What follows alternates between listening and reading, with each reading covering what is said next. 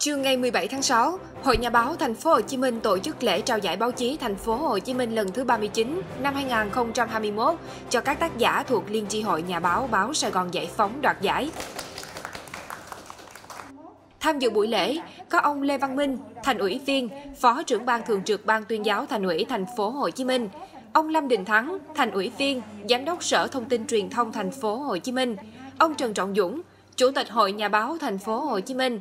ông Nguyễn Tấn Phong, Phó Chủ tịch Thường trực Hội Nhà báo Thành phố Hồ Chí Minh, nhà báo Hồng Lam, Phó Tổng biên tập phụ trách báo Sài Gòn Giải phóng, ông Nguyễn Chiến Chinh, trưởng phòng báo chí xuất bản, Ban tuyên giáo Thành ủy Thành phố Hồ Chí Minh, ông Nguyễn Khắc Văn, Tổng thư ký tòa soạn báo Sài Gòn Giải phóng. Trong suốt thời gian qua, báo Sài Gòn Giải phóng đã chú ý đến cái nâng cao chất lượng ờ, của tác phẩm. Và đồng thời là trong quá trình xét giải chúng tôi đã cũng làm rất là nghiêm túc sàng lọc kỹ như thế cái tỷ lệ đạt giải là đi dự thi là 26,25% à, thì cũng tỷ lệ tương đối cao. Trong năm tới báo Sài Gòn Giải phóng đã cũng đã bắt đầu tiến hành là chỉ đạo uh, các cái bộ phận chuyên môn liên tri hội để nâng cao cái chất lượng uh, tin bài. Uh, đặc biệt đó, là chú trọng về vấn đề phát hiện các cái đề tài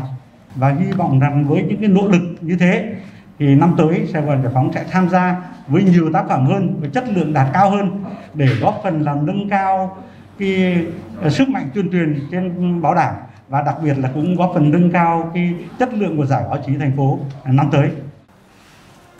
Báo Sài Gòn Giải phóng có 8 tác phẩm đoạt giải báo chí Thành phố Hồ Chí Minh lần thứ 39 năm 2021, gồm một giải nhất, ba giải nhì, ba giải ba và một giải khuyến khích.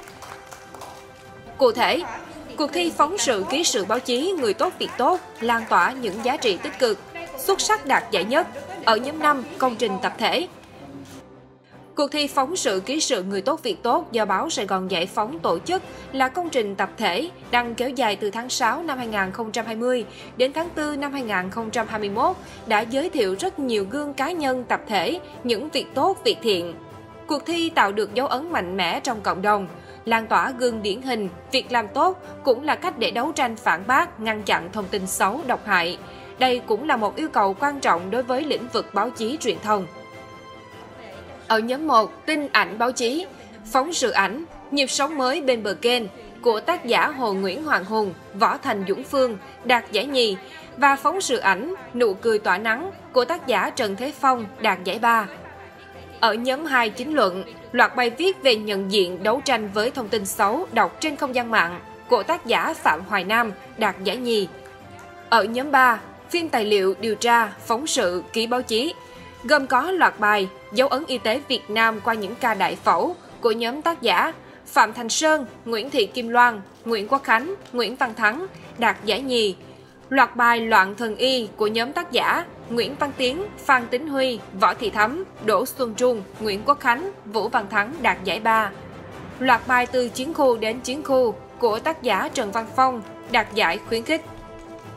Ở nhóm 4, phỏng vấn tường thuật ghi nhanh.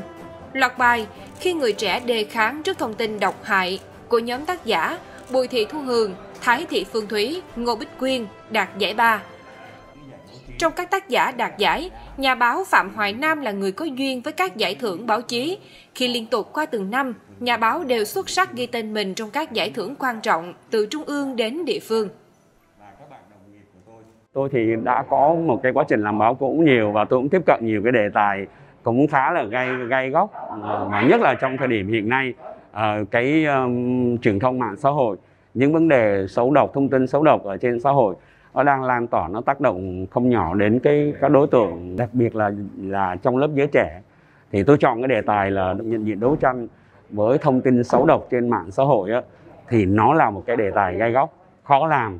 Làm sao để cho cộng đồng mạng nhận diện thấy rõ được những cái thông tin xấu độc để chúng ta cùng chung sức à, đấu tranh với những loại thông tin này để tạo ra một sức lan tỏa cho xã hội tích cực hơn ở trên không gian mạng cũng như toàn xã hội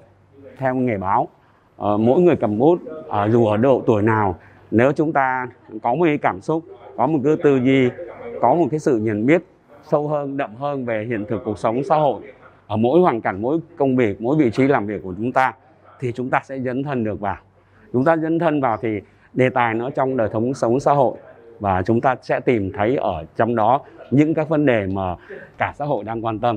những cái vấn đề mà ngay trong giới báo chí cần phải hướng định đến để cho xã hội chúng ta tốt đẹp hơn lên. Năm nay do dịch Covid-19 diễn biến phức tạp, thành phố Hồ Chí Minh đang thực hiện giãn cách theo chỉ thị 15 của Thủ tướng Chính phủ. Vì vậy, Hội Nhà báo thành phố Hồ Chí Minh đã biểu quyết thống nhất chủ trương không tổ chức lễ trao giải báo chí tập trung như hàng năm. Các cơ quan báo chí căn cứ tình hình thực tế của đơn vị, tổ chức trao giải cho các tác giả tại trụ sở cơ quan báo chí.